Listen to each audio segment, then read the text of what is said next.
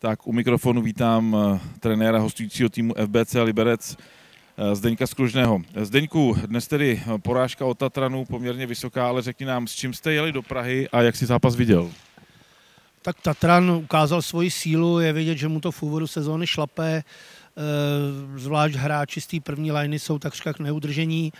My jsme chtěli hrát odvážně, chtěli jsme hrát dobře s míčkem, tak abychom eliminovali tu útočnou sílu, ale moc se nám to nedařilo a ten tlak soupeře byl veliký a čím ten zápas šel dál, tak eh, tím Tatran byl lepší a, a, a my jsme upadali do nějaké vlastní deprese.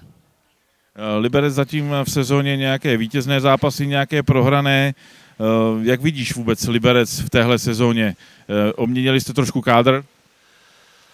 Tak eh, my jsme hráli s třemi těžkými soupeři pro nás a eh, ty zápasy jsme jednoznačně nezvládli. Eh, naopak potom jsme dvakrát vyhráli, jednou teda sice jenom na penalty za dva body, ale ten plán, který máme do sezóny, co se týká získávání bodů, tak zatím držíme, ale potřebujeme zlepšit tu hru a ty výkony s těmi silnými týmy. To doufám, že se nám tom období před Vánoci, kdy nás ty další těžké zápasy čekají, eh, o něco zlepší. Zdeňku, já děkuji za rozhovor a ať se daří v dalších kolech. Děkuji, mějte se.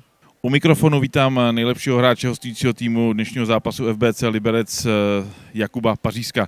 Jakube, sám si Tatranu vstřelil gól, ale nestačilo to na Tatran. Tatran vyhrál 12-1. Jak si viděl zápas? Eh, je to tak, dneska Tatran byl rozhodně lepší, vlastně stoupil do toho utkání eh, v nasazení, my jsme spíš byli takový ospalí ze začátku a bohužel se nám nepodařilo Tatran vůbec jakoby vyrovnat. Eh, musíme se z toho poučit a jít dál, hodit to za hlavu a musíme doufat, že příště předvede lepší výkon. Kde bys viděl, že se zápas zlomil hned v první třetině?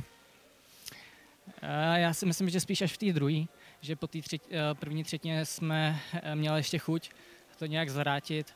Bohužel eh, ve druhé třetině přišly další rychlé góly. Měli jsme tam prostě málo střel, málo jsme se do toho tlačili a bez gólu se ten zápas prostě nevyhrával. Jakube, děkuji za rozhovor a ať se daří v dalších zápasech. Taky děkuji.